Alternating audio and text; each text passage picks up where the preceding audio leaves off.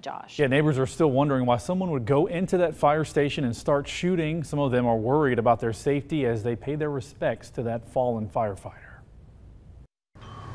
The flag lowered to half staff and flowers now rest on the ground outside Fire Station 9 in Norwood, a growing memorial for fallen firefighter Jordan Melton, who police say was shot on duty inside the fire station last week.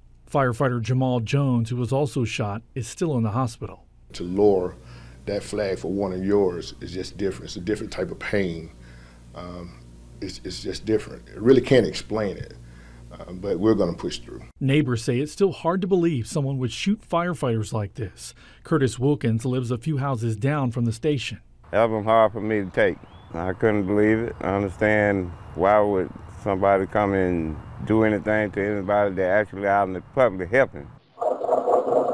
WBRC got this doorbell camera video from a neighbor. You can hear multiple shots. So far, police haven't said much about the case, other than they believe it's a potentially targeted shooting. We looked around and didn't see any cameras on the outside of the fire station that may have captured the shooting on video. BPD tells us they are unable to go into any details about cameras. Wilkins says gun violence is not the answer, especially among young people. Bullets have no names. They get the flying, they go wherever, wherever. What can you say they did to you to make you want to come in and do something like that. That, no, I, I can't get around that one.